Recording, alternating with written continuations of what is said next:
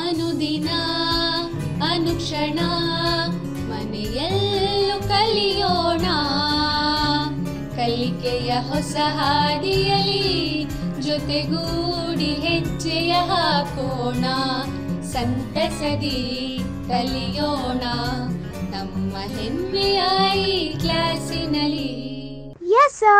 Yes, teacher. Present,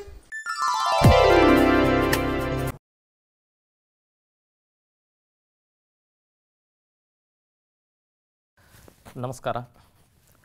ನಾನು ಮೊಹಮ್ಮದ್ ಶಫಿ ಯರ್ಗುಡಿ, ಕನ್ನಡ ಭಾಷಾ ಶಿಕ್ಷಕರು, ಕರ್ನಾಟಕ ಪಬ್ಲಿಕ್ ಶಾಲೆ, ಸೊರಟೂರು, ತಾಲೂಕು ಜಿಲ್ಲೆ ಗದಗ್. ಆತ್ಮೀಯ ವಿದ್ಯಾರ್ಥಿಗಳೇ, ದಿನನಿತ್ಯ ಜೀವನದಲ್ಲಿ ನಮ್ಮ ಜೊತೆಗೆ ಬಹಳಷ್ಟು ಜನ ಒಡನಾಟವನ್ನು ಹೊಂದಿರ್ತಾರೆ. ಅದರಲ್ಲಿ ಬಹಳಷ್ಟು ಜನ ನಮ್ಮ ಮೇಲೆ ಪ್ರಭಾವವನ್ನು ಬೀರ್ತಾರೆ. ಹಾಗಾದರೆ ನಮ್ಮ ಮೇಲೆ ಪ್ರಭಾವ ಬೀರುವಂಥವರು ಯಾರ್ಯಾರಿದ್ದಾರೆ? ಮಕ್ಕಳೇ, ಪಟ್ಟಿ ಮಾಡಿ. ವೆರಿ ಗುಡ್ ಬರಿತಾ ಇದ್ದೀರಿ ದಿನನಿತ್ಯ ಜೀವನದಲ್ಲಿ ನಮ್ಮ ಮೇಲೆ ಪ್ರಭಾವ ಬೀರ್ತಾ ಇರುವಂಥವರ ಹೆಸರುಗಳನ್ನು ತಾವು ಪಟ್ಟಿ ಮಾಡಿ, ಮಾಡಿದಿರಿ. ಆ ಪಟ್ಟಿಯಲ್ಲಿ ತಂದೆ, ತಾಯಿ, ಶಿಕ್ಷಕ, ಸ್ನೇಹಿತ, ಸಹೋದರ, ಸಹೋದರಿ. ಇವರು ನಮ್ಮ ಜೀವನದ ಮೇಲೆ ಅತಿ ಹೆಚ್ಚು ಪ್ರಭಾವ ಬೀರಿರುವವರಲ್ಲಿ ಪ್ರಮುಖರು. ನಾವು ವಾಸಿಸ್ತಾ ಇರುವಂಥ ಸಮಾಜವು ಪ್ರತಿಯೊಬ್ಬರೂ ಕೆಲವು ಜವಾಬ್ದಾರಿಗಳನ್ನು ನಿರ್ವಹಿಸಬೇಕೆಂದು ನಿರೀಕ್ಷಿಸುತ್ತದೆ. ನಮ್ಮ ಮನೆಯಲ್ಲಿ ನಮ್ಮ ತಂದೆಯಾದವರು ಯಾವ ಯಾವ ಜವಾಬ್ದಾರಿಗಳನ್ನು ನಿರ್ವಹಿಸಬೇಕೆಂದು ನಾವು ಮನೆಯಲ್ಲಿ ನಿರೀಕ್ಷಿಸ್ತೇವೆ? ಮಕ್ಕಳೇ, ಬರೀರಿ ಅದು ಆ ಜವಾಬ್ದಾರಿಗಳನ್ನು. ವೆರಿ ಗುಡ್ ತಂದೆಯ ಜವಾಬ್ದಾರಿಗಳನ್ನು ತಾವು ಬರಿತಾ ಇದ್ದೀರಿ. ನೋಡಿ ಮಕ್ಕಳೇ, ತಾವು ಬರೆದಿದ್ದೀರಿ. ಅದರ ಜೊತೆಗೆ ಮಕ್ಕಳಿಗೆ ತಂದೆಯಾದವರು ಒಳ್ಳೆಯ ಶಿಕ್ಷಣವನ್ನು ನೀಡಬೇಕು. ಅವರ ಭವಿಷ್ಯದ ಬಗ್ಗೆ ಕಾಳಜಿ ಮಾಡಬೇಕು. ಮಕ್ಕಳ ಮೂಲಭೂತ ಅವಶ್ಯಕತೆಗಳನ್ನು ಪೂರೈಸುವುದು ತಂದೆಯಾದವನ ಕರ್ತವ್ಯ. ಇನ್ನು ಅದೇ ರೀತಿ ಶಾಲೆಯಲ್ಲಿ ಶಿಕ್ಷಕರ ಜವಾಬ್ದಾರಿಗಳು ಯಾವುವು? ಬರೀರಿ ಮಕ್ಕಳೇ, ಶಿಕ್ಷಕರ ಜವಾಬ್ದಾರಿಗಳು ತಾವೆಲ್ಲ ನೋಡಿರ್ತೀರಿ. ಶಿಕ್ಷಕರ ಜೊತೆಗೆ ಬಹಳಷ್ಟು ಒಡನಾಟವನ್ನು ಇಟ್ಕೊಂಡಿದ್ದೀರಿ ಶಿಕ್ಷಕರು ಏನೆಲ್ಲ ಜವಾಬ್ದಾರಿಗಳನ್ನು ನಿರ್ವಹಿಸ್ತಾ ಇದ್ದಾರೆ ಶಾಲೆಯಲ್ಲಿ? ಬರಿತಾ ಇದ್ದೀರಲ್ವಾ? ವೆರಿ ಗುಡ್ ನೋಡಿ ಮಕ್ಕಳೇ, ಶಿಕ್ಷಕರ ಪ್ರಮುಖವಾಗಿರುವಂಥ ಜವಾಬ್ದಾರಿಗಳೇನೆಂದರೆ ಮಕ್ಕಳ ಬುದ್ಧಿಮಟ್ಟಕ್ಕನುಗುಣವಾಗಿ ಮಾರ್ಗದರ್ಶನ ಮಾಡುವುದು, ವಿದ್ಯಾರ್ಥಿಗಳನ್ನು ಮುಂದಿನ ಭವಿಷ್ಯಕ್ಕೆ ತಯಾರಿ ಮಾಡುವುದು, ಉತ್ತಮವಾದ ತಯಾರಿಯೊಂದಿಗೆ ಉತ್ತಮ ಪಾಠ ಮಾಡುವುದು ಶಿಕ್ಷಕನಾಗಿರುವಂಥವನ ಪ್ರಮುಖ ಜವಾಬ್ದಾರಿಯಾಗಿದೆ ಮಕ್ಕಳೇ. ಹೀಗೆ ಎಲ್ಲರಿಗೂ ತಮ್ಮದೇ ಆದ ಜವಾಬ್ದಾರಿಗಳು ಇವೆ ಎನ್ನುವುದನ್ನು ಪುಲಿಗೆರೆ ಸೋಮನಾಥ ತನ್ನ ಸೋಮೇಶ್ವರ ಶತಕ ಅನ್ನುವಂಥ ಪದ್ಯದಲ್ಲಿ ತಿಳಿಸ್ಕೊಡ್ತಾ ಇದ್ದಾನೆ. ವಿದ್ಯಾರ್ಥಿಗಳೇ, ಪದ್ಯ ಸೋಮೇಶ್ವರ ಶತಕ. ಈ ಪದ್ಯವನ್ನು ಬರೆದಂಥ ಕವಿ ಪುಲಿಗೆರೆ ಸೋಮನಾಥ ಅಂತಂತ. ಪುಲಿಗೆರೆ ಸೋಮನಾಥನ ಕಾಲ ಕ್ರಿಸ್ತ ಶಕ ಸುಮಾರು ಹನ್ನೆರಡು ನೂರ ತೊಂಬತ್ತೊಂಬತ್ತು ಪುಲಿಗೆರೆ ಸೋಮನಾಥನ ಊರು ಧಾರವಾಡ ಜಿಲ್ಲೆಯ ಸಿರಹಟ್ಟಿ ತಾಲೂಕಿನ ಪುಲಿಗೆರೆ. ವಿದ್ಯಾರ್ಥಿಗಳೇ, ಈ ಸಿರಹಟ್ಟಿ ತಾಲೂಕು ಈಗ ಗದಗ ಜಿಲ್ಲೆಯಲ್ಲಿದೆ. ಆ ಗದಗ ಜಿಲ್ಲೆಯ ಒಂದು ತಾಲೂಕು ಸಿರಹಟ್ಟಿ, ಅಲ್ಲಿ ಬರುವಂಥ ಒಂದು ಪ್ರಮುಖ ಪಟ್ಟಣ ಪುಲಿಗೆರೆ ಅಂತಂದು ಇಂದಿನ ಗದಗ ಜಿಲ್ಲೆಯ ಲಕ್ಷ್ಮೇಶ್ವರವನ್ನು ಹಿಂದೆ ಪುಲಿಗೆರೆ ಅಂತ ಇದ್ದರು ವಿದ್ಯಾರ್ಥಿಗಳೇ, ತಾವು ಈ ಮಾಹಿತಿಯನ್ನು ನೆನಪಿಡಬೇಕು. ಇತ್ತೀಚೆಗೆ ಸರ್ಕಾರ ಹೊಸ ತಾಲೂಕುಗಳನ್ನು ಘೋಷಣೆ ಮಾಡ್ತಲ್ಲ, ಅದರಲ್ಲಿ ಈ ಲಕ್ಷ್ಮೇಶ್ವರವು ಸಹಿತ ಒಂದು ಹೊಸ ತಾಲೂಕಾಗಿ ಘೋಷಣೆಯಾಗಿದೆ.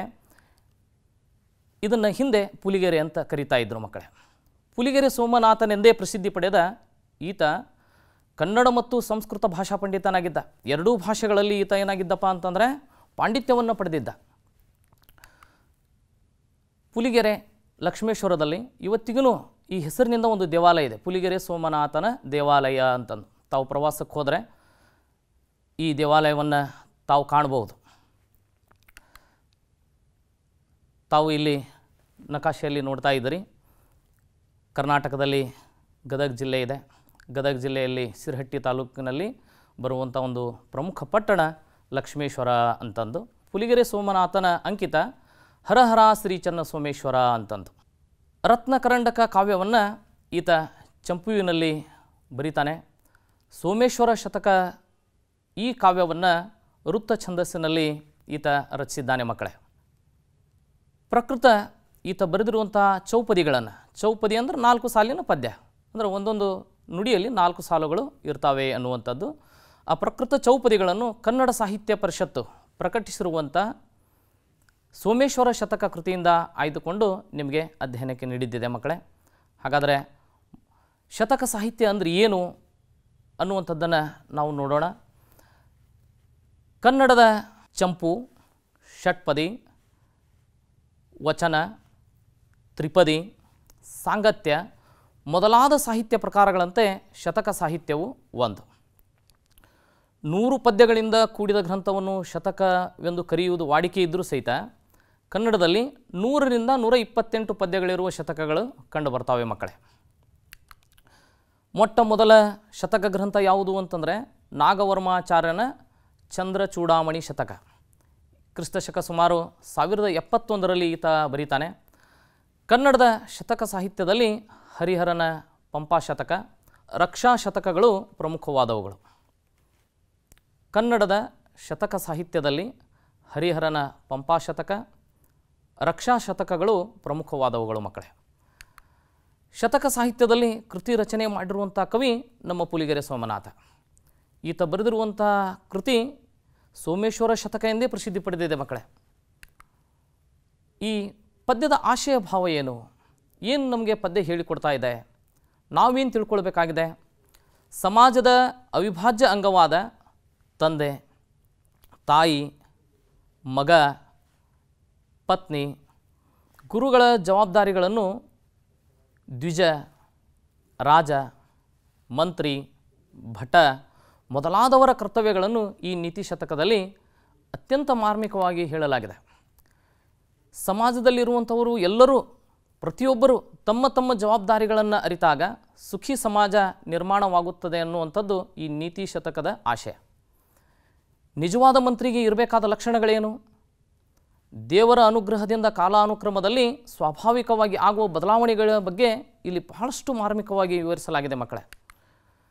ಈ ಪದ್ಯದಲ್ಲಿ ಬರುವಂಥ ಪದಗಳ ಅರ್ಥವನ್ನು ಒಂದು ಸಾರಿ ಗಮನಿಸೋಣ ಮಕ್ಕಳೇ.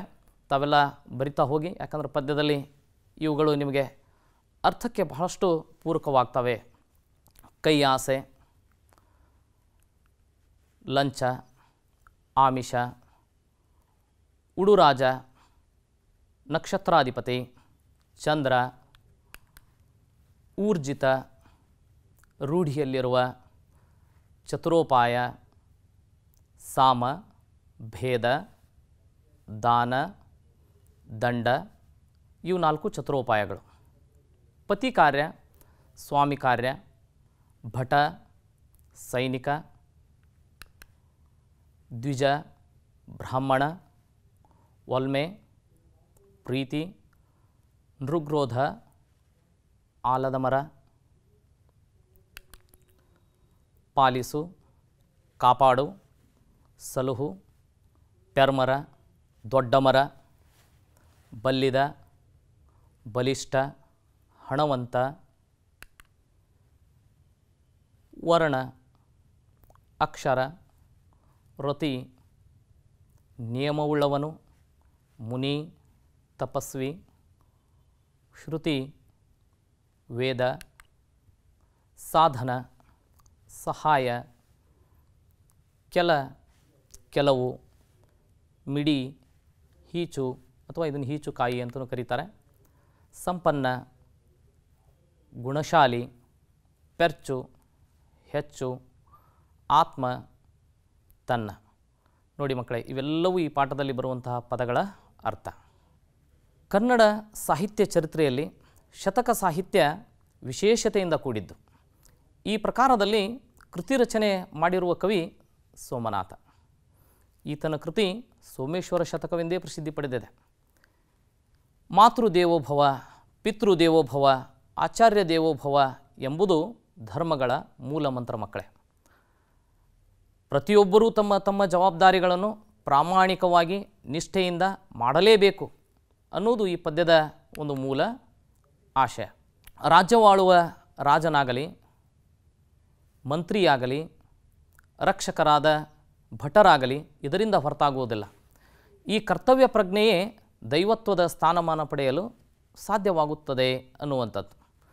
ದೈವದ ಅನುಗ್ರಹವು ಸ್ವಾಭಾವಿಕವಾಗಿ ಏನೆಲ್ಲ ಪರಿವರ್ತನೆಗೆ ಕಾರಣವಾಗುತ್ತದೆ ಎಂಬುದು ಈ ಪದ್ಯದಲ್ಲಿ ಅತ್ಯಂತ ಮನೋಜ್ಞವಾಗಿ ಈ ಶತಕದಲ್ಲಿ ವಿವರಿಸಲಾಗಿದೆ ಮಕ್ಕಳೇ ಹಾಗಾದರೆ ಮೊದಲನೇ ನುಡಿಯನ್ನು ತಾವಿಲ್ಲಿ ನೋಡ್ತಾ ಇದ್ದೀರಿ ಇದನ್ನು ಹಾಡನ್ನು ನಾವು ಕೇಳ್ಕೊಂಡು ಬರೋಣ ಮಕ್ಕಳೇ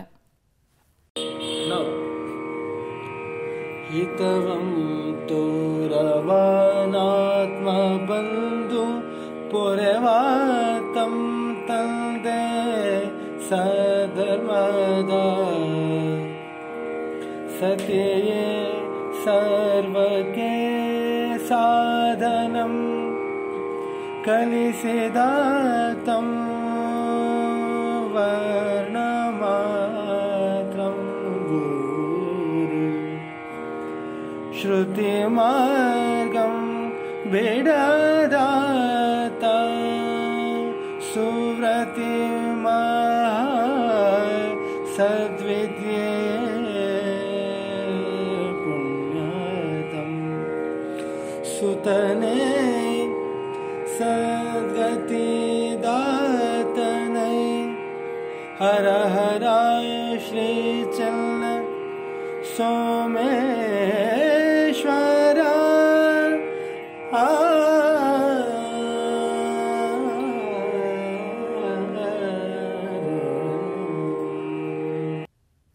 ನಮ್ಮ ಹಿತವನ್ನು ತೋರುವವನು, ಬಯಸುವವನು ನಿಜವಾದ ನಂಟ, ಬಂಧು, ಸಂಬಂಧಿ ಅಂತ ಕರೀತಾರೆ.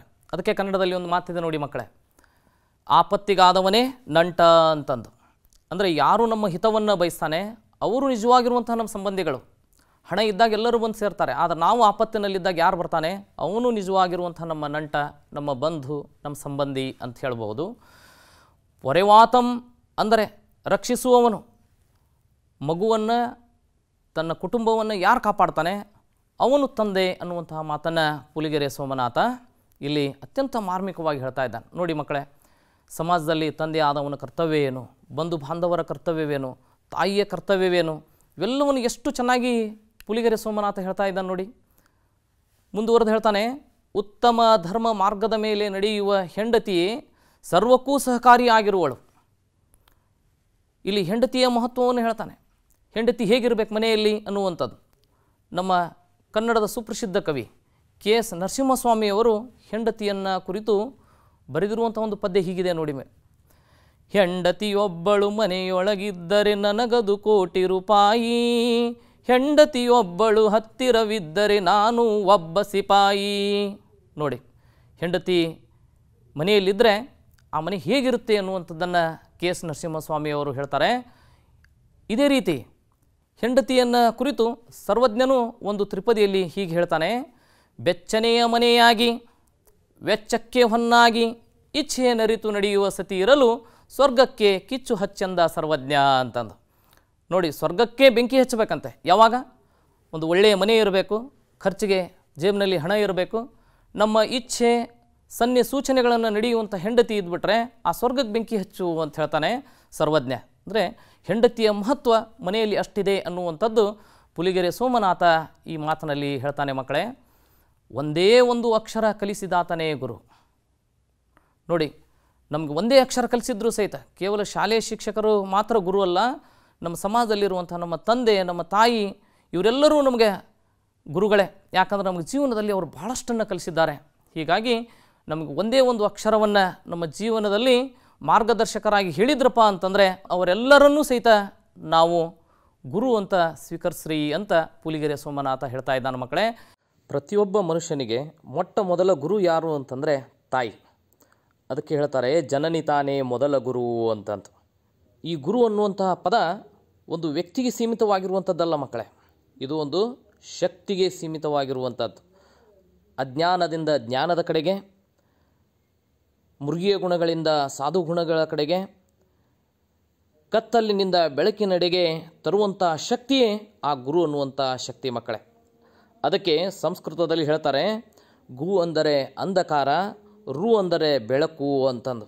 ಅಜ್ಞಾನದ ಅಂಧಕಾರವನ್ನು ಹೋಗಲಾಡಿಸಿ ಜ್ಞಾನದ ಬೆಳಕನ್ನು ತರುವವನೇ ಗುರು ಅನ್ನುವಂತಹ ಮಾತು ಈ ಪದ ತಿಳಿಸಿಕೊಡ್ತಾ ಇದೆ. ಹೀಗಾಗಿ ಮಕ್ಕಳೇ, ಗುರು ಅಜ್ಞಾನದ ಕತ್ತಲೆಯನ್ನು ಕಳೆದು ಸುಜ್ಞಾನದೆಡೆಗೆ ಕರೆದುಕೊಂಡು ಹೋಗುವವನಾಗಿದ್ದಾನೆ. ಅದಕ್ಕೆ ಗುರುವಿನ ಗುಲಾಮನಾಗುವ ತನಕ ದೊರೆಯದಣ್ಣ ಮುಕುತಿ ಅನ್ನುವಂತಹ ಮಾತನ್ನು ನಮ್ಮ ಹಿರಿಯರು ಹೇಳೋಗಿದ್ದಾರೆ ಆತ್ಮೀಯ ವಿದ್ಯಾರ್ಥಿಗಳೇ, ಹೀಗಾಗಿ ನಾವು ಈ ಮಾತನ್ನು ನಮ್ಮ ಜೀವನದಲ್ಲಿ ಪಾಲಿಸುವಂಥವರಾಗಬೇಕು ಮಕ್ಕಳೇ. ವೇದ ಮಾರ್ಗವನ್ನು ಬಿಡದೆ ನಡೆಯುವವನು ಋಷಿ. ಸತ್ಯ ಮಾರ್ಗವನ್ನು, ವೇದ ಮಾರ್ಗವನ್ನು ಎಂದೂ ಬಿಡದೆ ಯಾರು ನಡೀತಾನಲ್ಲ, ಆತನನ್ನು ಋಷಿ ಮುನಿಗಳು ಅಂತ ಕರೀತಾ ಇದ್ದರು ಮಗನೇ ಸದ್ಗತಿಗೆ ಕಾರಣವನು ಎಂದು ಪುಲಿಗೆರೆ ಸೋಮನಾಥ ಕವಿ ಹೇಳ್ತಾನೆ. ಎರಡನೇ ನುಡಿಯನ್ನು ನಾವು ನೋಡೋಣ ಮಕ್ಕಳೇ. ಪ್ರಜೆಯಂ ಪಾಲಿಸಬಲ್ಲೊಡಾತಂ ಅರಸಂ ಕೈ ಆಸೆಯಂ ಮಾಡದಂ ನಿಜ ಮಂತ್ರೀಶ್ವರ ತಂದೆ ತಾಯ್ ಸಲಹಲ್ ಬಲ್ಲಾತನೇ ಧಾರ್ಮಿಕಂ. ಭಜಕಂ ದೈವದ ಭಕ್ತಿಯುಳ್ಳೊಡೆ ಭಟಂ ನಿರ್ಭೀತತಾನಾದವಂ. ದ್ವಿಜನಾಚಾರತೆಯುಳ್ಳವಂ ಹರಹರ ಶ್ರೀ ಚನ್ನಸೋಮೇಶ್ವರ प्रजयं पालिस बल्लोडातनरसं कैयासयं माडदं निजमन्त्रेश्वर तन्देताय सलहल्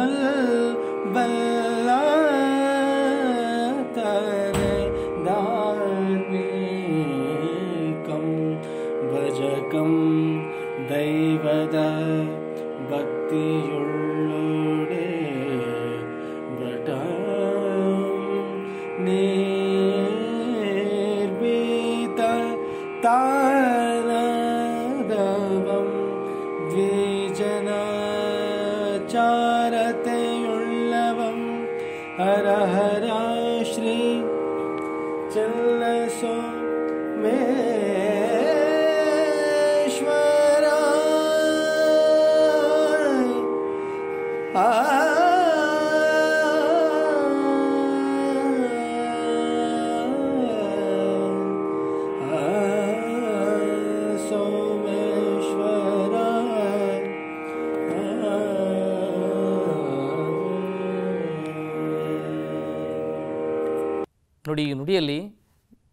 ಪುಲಿಗೆರೆ ಸೋಮನಾಥ ಅರಸನ ಜವಾಬ್ದಾರಿ ಏನು ಅನ್ನುವಂಥದ್ದನ್ನು ಹೇಳ್ತಾನೆ. ತನ್ನನ್ನು ನಂಬಿರುವಂತಹ ಪ್ರಜೆಗಳ ರಕ್ಷಣೆ ಮಾಡುವುದು ಅರಸನ ದೊರೆಯ ಮೊಟ್ಟ ಮೊದಲ ಕೆಲಸ ಅನ್ನುವಂಥದ್ದನ್ನು ಹೇಳ್ತಾನೆ. ಒಬ್ಬ ರಾಜ ತನ್ನ ಪ್ರಜೆಗಳನ್ನು ರಕ್ಷಣೆ ಮಾಡುವುದು ಪ್ರಮುಖವಾಗಿರುವಂಥ ಕೆಲಸ. ಇನ್ನು ಆತನ ಮಂತ್ರಿ ಈತ ಲಂಚಕ್ಕೆ ಎಂದೂ ಆಸೆ ಪಡಬಾರದು. ತಾನು ಹಣವನ್ನು ಪಡೆದು ಕೆಲಸ ಮಾಡುವಂಥ ವ್ಯಕ್ತಿ ಆಗಬಾರ್ದು. ಯಾರು ತಂದೆ ತಾಯಿಗಳನ್ನು ಸಲಹುತ್ತಾನೆಯೋ ಆತನು ಧರ್ಮಿಷ್ಠನಾಗಿದ್ದಾನೆ. ನೋಡ್ರಿ, ಮಕ್ಕಳ ಪ್ರಮುಖವಾಗಿರುವಂಥ ಕೆಲಸ ಏನಂದರೆ ಮುಪ್ಪಾವಸ್ಥೆಯಲ್ಲಿ ತಂದೆ ತಾಯಿಗಳನ್ನು ಸಲ್ಲುವಂಥವರಾಗಬೇಕು. ಆತ ನಿಜವಾಗಿರುವಂಥ ಧರ್ಮ ಮಾರ್ಗದ ಮೇಲೆ ನಡೆಯುವಂಥವನಾಗಿದ್ದಾನೆ ಅಂತ ಇಲ್ಲಿ ಸೋಮನಾಥ ಹೇಳ್ತಾ ಇದ್ದಾನೆ. ದೇವರಲ್ಲಿ ಭಕ್ತಿಯುಳ್ಳವನೇ ನಿಜವಾದ ಭಕ್ತನು. ನಿರ್ಭಯನಾದನೇ ಸೈನಿಕನು, ಯೋಧನು. ಯೋಧನ ಕೆಲಸ ಏನಪ್ಪ ಅಂತಂದ್ರೆ ನಿರ್ಭೀತಿಯಿಂದ ರಣರಂಗದಲ್ಲಿ ಹೋರಾಟ ಮಾಡುವಂಥವನಾಗಿರಬೇಕು. ಆ ರಣರಂಗದಿಂದ ವಿಮುಖನಾದರೆ ಆತ ಯುಹುದ ಅನಿಸ್ಕೊಳ್ಳೋದಿಲ್ಲ. ಹೀಗಾಗಿ ಆತನಲ್ಲಿ ಭಯ ಇರಬಾರ್ದು. ಅಂಥ ಒಬ್ಬ ವ್ಯಕ್ತಿ ಸೈನಿಕನಾಗಲಿಕ್ಕೆ ಯೋಗ್ಯ, ಯೋಧನಾಗಲಿಕ್ಕೆ ಯೋಗ್ಯ ಎಂಬ ಮಾತನ್ನು ಪುಲಿಗೆರೆ ಸೋಮನಾಥ ಹೇಳ್ತಾ ಇದ್ದಾನೆ. ಒಳ್ಳೆಯ ನಡತೆಯುಳ್ಳವನೇ ಜ್ಞಾನಿ. ಬರೀ ಜ್ಞಾನಿ ಅಲ್ಲ ಎಂಥ ಜ್ಞಾನಿ? ಬ್ರಹ್ಮಜ್ಞಾನಿ ಎಂದು ಪುಲಿಗೆರೆ ಸೋಮನಾಥ ಇಲ್ಲಿ ಹೇಳ್ತಾ ಇದ್ದಾನೆ. ನೋಡ್ರಿ ನಾವು ಜ್ಞಾನಿಗಳಾಗಬೇಕು ಅಂದ್ರೆ ಎಲ್ಲಕ್ಕಿಂತ ಮುಖ್ಯವಾಗಿ ನಮ್ಗೆ ಒಳ್ಳೆಯ ನಡೆ ನುಡಿಗಳು ಬರಬೇಕು. ಇಲ್ಲ ನಾವು ಎಷ್ಟೇ ಓದಿದ್ದೀವಿ ಅಂದ್ರೂ ಒಳ್ಳೆಯ ನಡೆ ನುಡಿ ಇಲ್ಲಪ್ಪ ಅಂತಂದರೆ ಇಂಗ್ಲೀಷ್ನಲ್ಲಿ ಒಂದು ಮಾತು ಹೇಳ್ತಾರಲ್ಲ if character is lost everything is lost ಅಂತ ಹೇಳ್ತಾರೆ. ಹಾಗೆ ನಾವು ನಡತೆಯನ್ನು ಕಳ್ಕೊಂಡಿವಿ ಅಂತಂದ್ರೆ ಜ್ಞಾನಿಗಳಾಗಲಿಕ್ಕೆ ಸಾಧ್ಯ ಇಲ್ಲ ಮಕ್ಕಳೇ. ಹೀಗೆ ಪುಲಿಗೆರೆ ಸೋಮನಾಥ ತನ್ನ ಎರಡನೇ ನುಡಿಯಲ್ಲಿ ಅರಸನ ಮಂತ್ರಿಯ ಜ್ಞಾನಿಯ ಜವಾಬ್ದಾರಿಗಳೇನು ಅವ್ರು ಹೇಗಿರಬೇಕು ಅನ್ನುವಂಥದ್ದನ್ನು ಕುರಿತು ತಿಳಿಸಿಕೊಡ್ತಾ ಇದ್ದಾನೆ. ಮೂರನೇ ನುಡಿ ಹೀಗಿದೆ. ಅತಿ ಗಂಭೀರನ್, ಉದಾರ ಧೀರನು ಮಹಾಸಂಪನ್ನ ಸತ್ಯಾತ್ಮನು. ಊರ್ಜಿತ ನಾನಾ ಲಿಪಿ ಭಾಷೆಯೋಳ್ ಪರಿಚಿತಂ, ಲಂಚಕ್ಕೆ ಕೈ ನೀಡದಂ ವೃತ ಸದ್ಧರ್ಮ ವಿಚಾರಶಾಲಿ ಚತುರೋಪಾಯಂಗಳಂ ಬಲ್ಲವಂ, ಪತಿ ಕಾರ್ಯಂ ವರ ಮಂತ್ರಿಯೈ ಹರಹರ ಶ್ರೀ ಚನ್ನ ಸೋಮೇಶ್ವರ ಈ ನುಡಿಯಲ್ಲಿ ಪುಲಿಗೆರೆ ಸೋಮನಾಥ ಮಂತ್ರಿಯೊಬ್ಬ ಹೇಗಿರಬೇಕು? ಆತನಲ್ಲಿ ಯಾವ ಗುಣಗಳಿರಬೇಕು ಅನ್ನುವುದನ್ನು ತಿಳಿಸ್ತಾನೆ. ಯಾಕಂದರೆ ರಾಜನಿಗೆ ಕೈ, ಕಾಲು, ಕಿವಿ, ಮೂಗು, ಕಣ್ಣು ಇವೆಲ್ಲವೂ ಯಾರಪ್ಪ ಅಂತಂದರೆ ಮಂತ್ರಿ ಆಗಿರ್ತಾನೆ. ಆ ಮಂತ್ರಿ ಹೇಗೆ ಹೇಳ್ತಾನೆ ಹಾಗೆ ರಾಜ ಕೇಳ್ತಾನೆ. ಹೀಗಾಗಿ ಆ ಮಂತ್ರಿಯಲ್ಲಿ ಏನೆಲ್ಲ ಒಳ್ಳೆಯ ಗುಣಗಳಿರಬೇಕು ಅನ್ನುವಂಥದ್ದನ್ನು ಹೇಳ್ತಾನೆ. ಬಹಳ ಗಂಭೀರನಾದವನು. ಮಂತ್ರಿ ಗಂಭೀರನಾಗಿರಬೇಕು. ದಾನಶೀಲನಾದವನಾಗಿರಬೇಕು. ಧೈರ್ಯಶಾಲಿ, ಧೀರ, ವೀರ, ಶೂರನಾಗಿರಬೇಕು. ಒಳ್ಳೆಯ ಗುಣಗಳನ್ನು ಹೊಂದಿದವನಾಗಿರಬೇಕು. ಸತ್ಯಸಂಧವನಾಗಿರಬೇಕು ಅನೇಕ ಭಾಷೆಗಳ ಲಿಪಿಗಳನ್ನು ಪರಿಚಯ ಮಾಡಿಕೊಂಡವನಾಗಿರಬೇಕು. ಲಂಚಕ್ಕೆ ಆಸೆ ಪಡೆದವನು ಆಗಿರಬೇಕು. ಎಲ್ಲ ನಿಯಮಗಳನ್ನು ಪಾಲಿಸುವವನಾಗಿರಬೇಕು. ಧರ್ಮಿಷ್ಠನಾಗಿರಬೇಕು, ವಿಚಾರಶಾಲಿಯಾಗಿರಬೇಕು, ಮಂತ್ರಿಯಾದವನು. ಜೊತೆಗೆ ಚತುರೋಪಾಯಗಳನ್ನು ಈತ ಬಲ್ಲವನಾಗಿರಬೇಕು.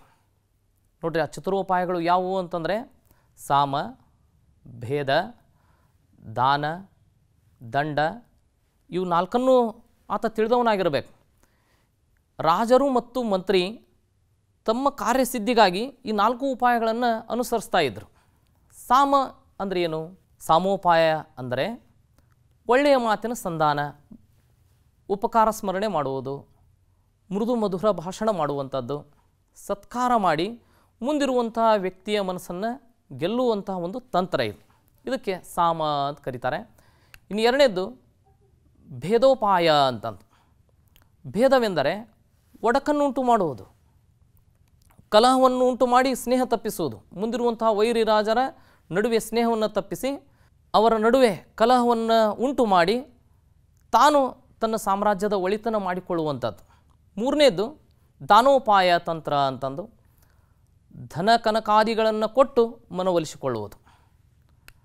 ನಾಲ್ಕನೆಯ ತಂತ್ರ ದಂಡೋಪಾಯ ಅಂತಂದು ದಂಡ ಎಂದರೆ ದಂಡನೆಗೆ, ಶಿಕ್ಷೆಗೆ ಒಳಪಡಿಸುವುದು ಅಥವಾ ಅವರ ಮೇಲೆ ಯುದ್ಧವನ್ನು ಮಾಡಿ ಅವರಿಗೆ ಸೋಲಿಸುವಂಥದ್ದು. ನಾಲ್ಕು ತಂತ್ರಗಳನ್ನು ಅರಿತಿರುವಂಥವನು ಮಾತ್ರ ಮಂತ್ರಿ ಆಗಲಿಕ್ಕೆ ಯೋಗ್ಯ ಅನ್ನುವಂಥ ಮಾತನ್ನು ಹೇಳ್ತಾನೆ. ಸ್ವಾಮಿ ಕಾರ್ಯದಲ್ಲಿ ಆಸಕ್ತಿ ಉಳ್ಳವನಾಗಿರಬೇಕು ಮಂತ್ರಿಯಾದವನು. ಸ್ವಾಮಿ ಅಂದರೆ ರಾಜನ ಕೆಲಸದಲ್ಲಿ, ಪ್ರಜೆಗಳ ಕೆಲಸದಲ್ಲಿ ಬಹಳಷ್ಟು ಆಸಕ್ತಿ ಉಳ್ಳವನಾಗಿರಬೇಕು.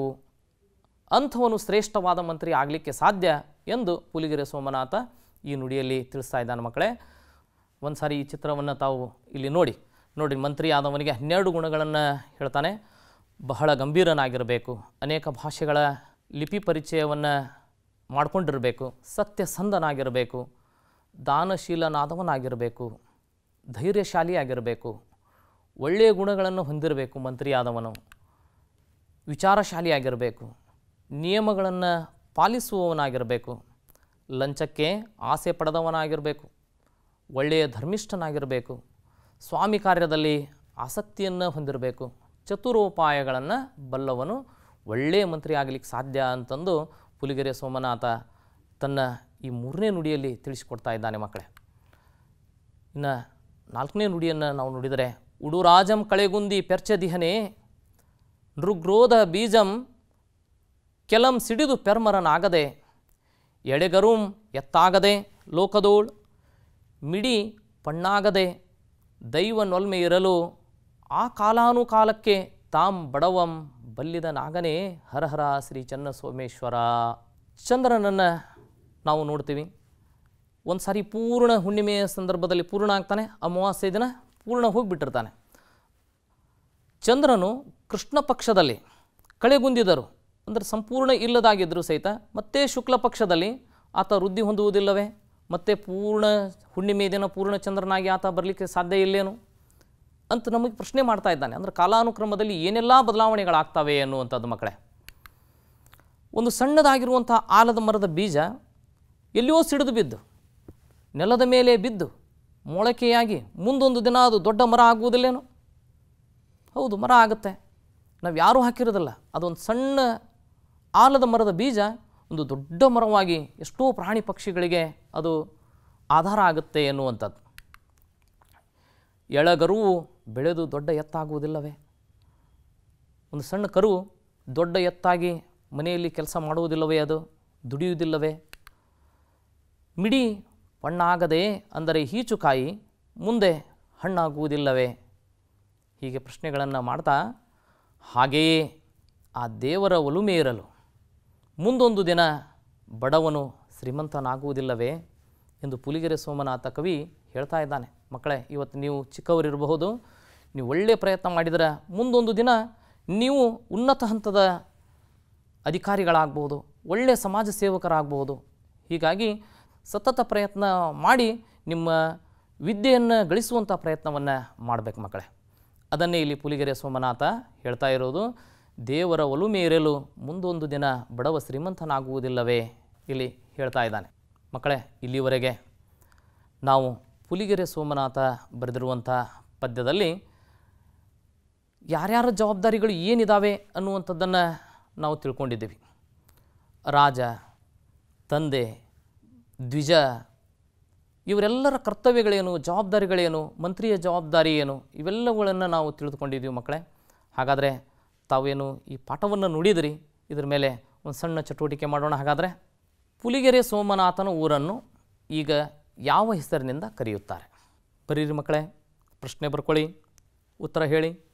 ಪುಲಿಗೆರೆ ಸೋಮನಾಥನ ಊರನ್ನು ಈಗ ಲಕ್ಷ್ಮೇಶ್ವರ ಅಂತ ಕರೀತಾರೆ. ಎರಡನೇ ಪ್ರಶ್ನೆ, ಪುಲಿಗೆರೆ ಸೋಮನಾಥನ ಅಂಕಿತ ಯಾವುದು? ಹೇಳಿ ಮಕ್ಕಳ, ಪರಿಚಯದಲ್ಲಿ ತಾವು ತಿಳ್ಕೊಂಡಿದ್ದೀರಲ್ವಾ? ಪುಲಿಗೆರೆ ಸೋಮನಾಥನ ಅಂಕಿತ ಹರ ಹರ ಶ್ರೀ ಚನ್ನಸೋಮೇಶ್ವರ.